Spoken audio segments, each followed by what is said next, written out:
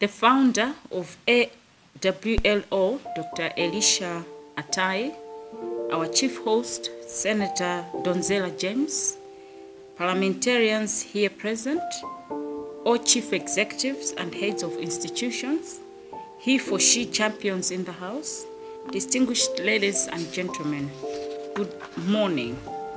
Distinguished participants and honorable members, today I feel honored to stand before you to share what is critical to women. I thank Dr. Elisha Attai for inviting me to be one of the keynote speakers at this conference. I could not be physically present due to circumstances beyond my control, but our team from the warm heart of Africa, Malawi, will represent us well. Before I continue, as we all know, we are living in a challenging time of COVID 19. We have all been affected by losing our loved ones for good. Parliament of Malawi has not been spared on this. We have lost eight members of parliament, two of whom were women. May every soul that has succumbed to COVID 19 rest in peace. Distinguished participants and honorable members, Sheryl Sandberg, one of the strongest forces behind women representation, once said, and I quote, We need women at all levels, including the top, to change the dynamic, reshape the conversation, to make sure women's voices are heard and heeded, not overlooked and ignored. End of quote. I have started with this famous quote because it sets the tone for the African Women in Leadership Organization conference. This conference has brought together African women and women of African descent. These women are in political leadership, like myself, and are all parliamentarians, executives, professionals, and are all women leaders in their own capacity. We are living in a world where over 52% are women. We can no longer afford to allow women remain silent or absent where decisions are made.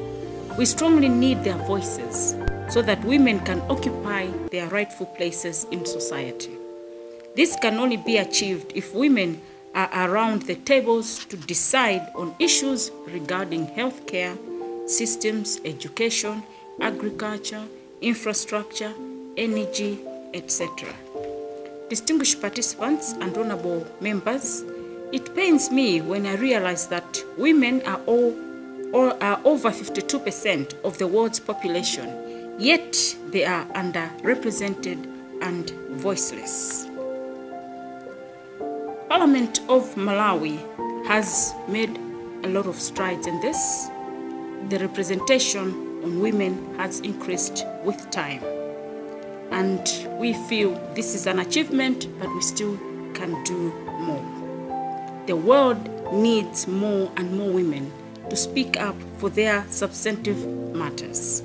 Melinda Gates once said, Women speaking up for themselves and for those around them are the strongest forces we have to change the world.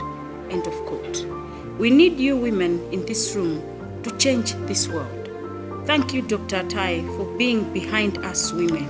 You are a force to reckon with. In order for us to achieve our goals as women, we need women that are capacitated and are well represented in the tables where decisions are made. Women need to move from home, private arenas, to the public where decisions regarding everyone's welfare are made. Distinguished participants and honorable members, coming to the main theme of the conference, why women representation matters, one critically question arises who will best represent my interests? I think this is a question that all of us should be asking ourselves. Who will represent my interests? These are always circumstances where I have entrusted someone to take decisions on my behalf. I will feel safer if the person representing me is from my background or has lived experiences like me because I know that by sharing similar interests and preferences, the one representing me will push my agenda forward. People with shared socioeconomic characteristics have similar preferences and are likely going to make substantive representation where an opportunity arises. This is what makes me a strong believer of women representation to support the 52% of the world's population. I would like to give you an example of Malawi Parliament. In the early 90s, Parliament of Malawi had only 5% representation of members of parliament. But with time, it has risen to 23%. But the question that we want to ask is what has that rise done? What change has that brought? Immediately, the numbers of women representation increased in the Parliament of Malawi. We have seen a lot of laws, a lot of uh, bills, policies that favor women being enacted because the women members of parliament were able to lobby with the male members of parliament in order for us to get these bills. So this just shows the power of having women representation at all levels. For example, as we're talking, Malawi now has the Marriage and Divorce Family Relations Act, which raised the marriage age from 15 to 18. All along, marriage age was 15. But once we had more members of parliament, women members of parliament, they were able to lobby, uh, and the uh, age, uh, marriage age, was increased from 15 to 18. HIV/AIDS Act of 2017, the Domestic Violence Act of May 2006, the Child and Protection Act, the Wills and Inheritance Act, the Land Act, the Gender Equality Act. All these have been done during the time that we've seen an increase in the number of women representatives in the House. So I'm just trying to share with you the importance of increasing representation of women in all spheres, and in particular instance, uh, increasing the number of uh, women in Parliament. It has helped our country to ensure that these very important bills are passed in the House. We've also, uh, with time, managed to lobby with the Minister of Health to actually include family planning as a budget line on its own. Before having uh, a lot of members, uh, women members of parliament in the House, this was not even considered as an important budget line for the Ministry of Health. But members of parliament, the women members of parliament were able to lobby with the ministry, and as we are talking, we do have a budget for family planning. So this is just showing the importance of increasing the number of representation of women in different spheres. Women are now able to conduct oversight functions on implementation of gender-related laws because we have more women in parliament. Before, the men would never uh, take their time to check whether the budget are um, actually in line with the gender laws. Women representation has also helped us to actually have a lot of advocacy within parliament to ensure that national budgets are gender responsive, tailored towards addressing the practical and strategic needs and interests of individuals from different social groups, regardless of sex, age, class, ethnicity, and location.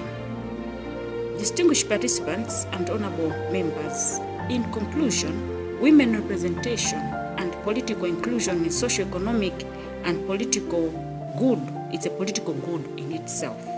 It is a denominator for democracy and gender equality. Democracy requires participation of all citizens, including women and the youth. When women's voice are left out, the world will end up unfair and unequal power sharing between men and women. This results in unequitable social policies and unfair political processes. This conference is here to emphasize the importance of female representation in public and political affairs. Most importantly, the conference identifies and addresses barriers to meaningful political inclusion of women by building sustainable, enabling environment for women's participation in public and political affairs. The conference will also promote an active dialogue among stakeholders and formulate strategies to close the gender gap in politics. with a view to create a better world for women everywhere. Having said this, I would now want to leave you with a quote from Melissa Etheridge, who said, and I quote, You are more powerful than you know. End of quote. Honorable members, this is a very powerful quote that all of us as women need to reflect on. We are more powerful than we think. Let us occupy our space. We are not pushing anybody out, but we're only occupying our space. We're only claiming what belongs to us. And by claiming what belongs to us, and by us occupying our space, that's the only way the world is going to see a lot of change. And I urge you, all women, to take up your space, and I urge you all to be courageous, to be bold, and to know that for the world to move, it needs us. We are 52% of the population, and no decision should be made without us because we are 52%, and that's why we need the numbers in whatever positions that we have, be it in the political sphere, be it in the executive, we need the women to be there because it is our space. And let us rise up and reclaim our space. Honorable members, thank you very much for your attention.